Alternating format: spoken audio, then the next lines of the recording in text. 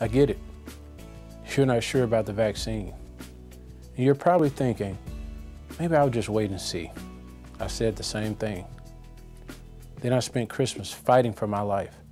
Take it from me, the coronavirus is no joke.